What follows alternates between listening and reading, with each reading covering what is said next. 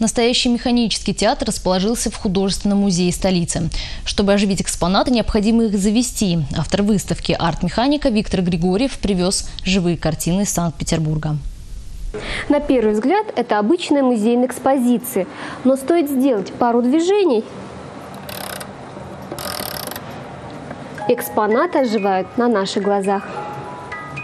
Именно на этом условии работает и вся выставка. Механика – это движение под действием сил. Приставка «арт» означает причастность к искусству. Искусство – создавать механизмы, которые не только работают, они завораживают своим внешним видом.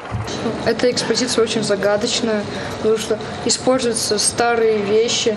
Здесь даже описывается то, что старые фотографии найдены, используются. Я ощущаю какое-то смятение и Э, пытаюсь войти в эту картину и получается.